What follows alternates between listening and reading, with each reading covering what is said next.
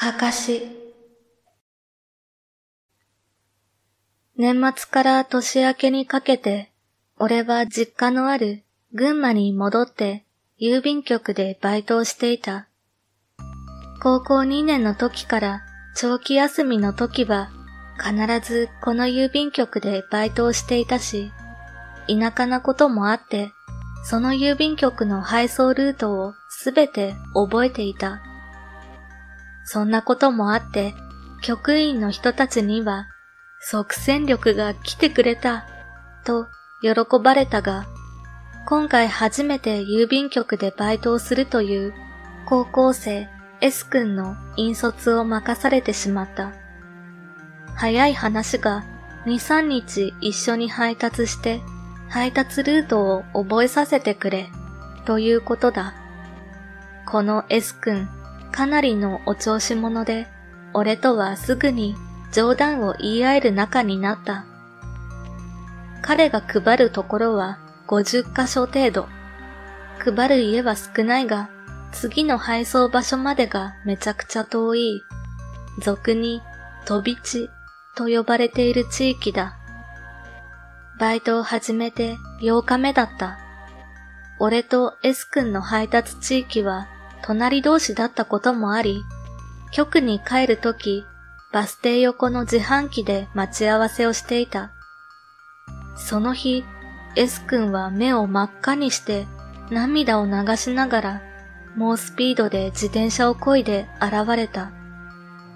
時間は午後5時になろうとしていて、バイトは局に帰らないといけない時間を大幅に過ぎている。転んだらしく、顔も服も自転車も泥まみれだった。どうしたんだと聞くと、やばい、やばい、やばい、やばい、と繰り返すだけで容量を得ない。俺は配達物を破損、紛失したのかと思って、とりあえず局に戻るぞと言って S 君を引っ張って局まで戻った。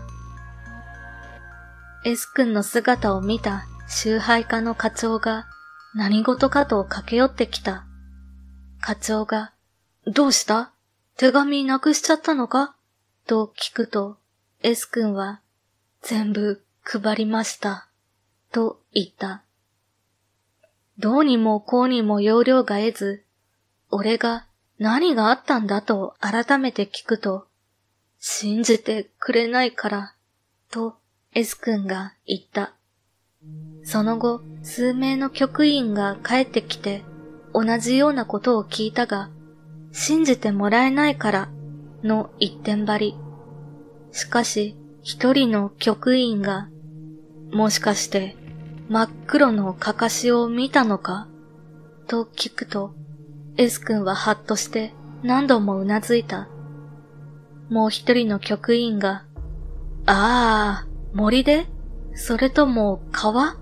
と聞くと S 君は、両方と答えた。S 君の配達ルートに A という家がある。配達物を見る限り中年の夫婦が二人で住んでいるようだ。そこへ行くには300メートルほどの暗い森を抜けて、小さな小川を渡り、畑の中道を通らなければならない。ぶっちゃけこんなところに家建てるな、と言いたくなるようなところだ。その A 宅は20年ぐらい前火事になったらしい。その火事で夫婦の子供と老人の3名が亡くなったそうだ。おじいさんは子供を病院に運ぼうとして森の道で力尽きて、おばあさんは黒焦げで小川に浮かんでいて、子供は救急車で運ばれたが、移送先の病院で息を引き取ったそうだ。今、A 宅があるのは畑の中道を通ったところになっているが、前は今の畑があったところらしい。局員の話では、じいさんは子供を探して、ばあさんは今も暑さから逃げようとしてるんじゃないか、ということだった。最初はかかしだと思った。でも、真っ黒な頭の目が開いた。目は真っ白だった。と、エス君が言った。俺もふと思い返してみた。確か、あの畑にはかかしはなかった。だけど、今年になって一回だけ、川に浮かぶかかしを俺も見た気がする。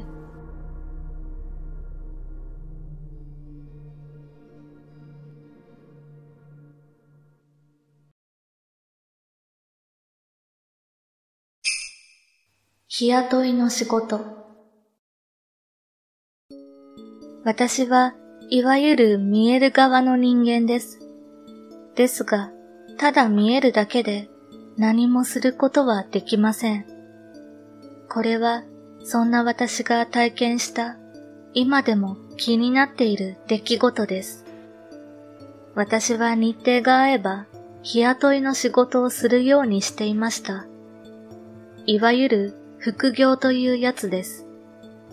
その日の仕事は駅前が集合場所になっていて、途中のコンビニでお弁当を買い、駅へ向かうと、会社のマイクロバスがやってきたので乗りました。バスに乗って着いた先は巨大な倉庫でした。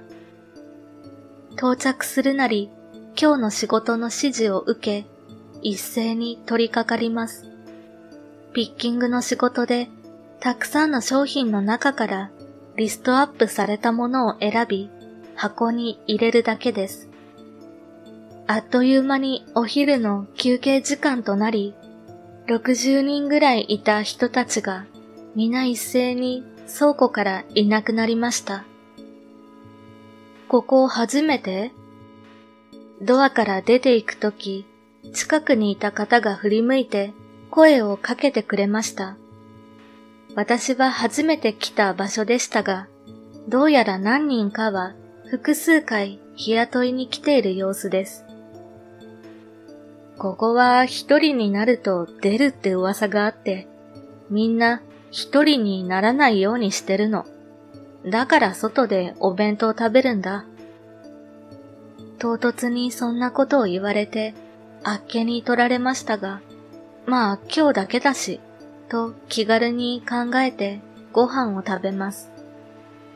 ベルが鳴ると皆一斉に移動して午後の仕事へと取り掛かりました。作業中は黙々と働き、就業のベルが鳴ると日当が手渡しされます。受け取った方は次々と建物を出て行きました。私も外へ出ようと思ったのですが、その前にトイレと思って一人で向かいました。トイレには先客が一人いました。私がトイレを使って出てくると、その方はまだ手を洗っています。特に気にもせず、私は警備員のいる出口へと向かいました。あれ、まだいたの？閉めるから早くして。警備員は言い切らないうちにシャッターのスイッチを押していました。私は、あの、まだ一人います。トイレにいましたよ。と伝えると、警備員は言いました。あれは、いいんだ。あれはここで2年前、フォークリフトに跳ねられて亡くなった子だ。さあ、早く。せかされて外へ出ると、マイクロバスが待っていました。幽霊を見たのに、妙にリアルすぎたので、怖くはありませんでした。バスに乗り、中を進むと、空席のシートにトイレで見たあの幽霊が座っていました。チェックのシャツが強烈に印象に残っていたので間違いないです。うわ、と思いましたが、気づかぬふりをしてやり過ごしました。駅に着いてみんながバスを降り、おのおの帰ろうとする中、その子も改札にいました。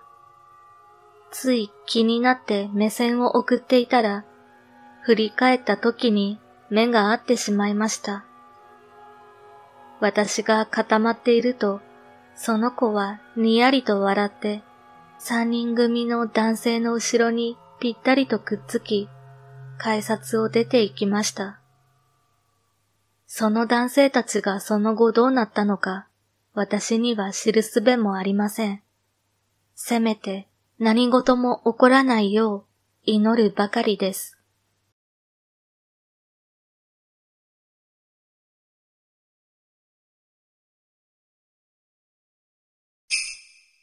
自己物件じゃない。幼い頃から不思議な体験をしてきた私は、空き室掃除の仕事を手伝うことになりました。家業なので、ある程度の裁量があるものですから、特に嫌な気配がする部屋は、パートさんやアルバイトさんに割り振ります。申し訳ないなとは思うのですが、見えてしまったら面倒なんです。これは、そんな私が行き当たった、とあるマンションの一室の話です。自己物件じゃないけど、住人がよく変わる部屋。あらかじめ不動産屋からそう説明がありました。5階建ての3階部分。予定通りの時間に作業を終えて、いつものように最終点検をしていると、外から夕焼け小焼けのメロディーが聞こえてきました。午後5時の合図でしょうか。掃除完了の電話をしていると、ガタゴトと微振動があり、カンカンと遮断機が降りる音もします。冬なので外はすでに暗く、暖房がない部屋は底冷えがします。清掃道具を通路に出して、廊下で夫の迎えを待っていました。師走は忙しいので、一人で一部屋の清掃を任されることもあります。しばらくすると、不動産屋と夫が二人で来て、引き渡し完了です。何か異常ありませんでしたか？不動産屋の問いかけに何もないと答えると世間話が続きました。この部屋の住人は過去3人鉄道事故で亡くなっているんです。まあ事故物件ではないんですけどね。そういう部屋なんです。という不動産屋の言葉に夫が怪げな顔で問いました。ほう、鉄道事故というと、身投げですか？どこで？近くに鉄道ないですもんね。そう。このマンションからはバスに乗らないと駅に行けない。でも私は部屋の中で電車特有の細かい振動を感じたし、さらには遮断機の警報音も聞いた。不動産屋が言った。それが原因不明なんですよ。人目の多い明るい場所だったり、買い物帰りだったりで。私には見当がついた。ふとした瞬間に発作的に背中を押す者が住む部屋。過去に三人。でも誰に言う？事故物件ではないから、私は引き継ぎ事項なしの項目にチェックを入れたんです。事故物件ではないから。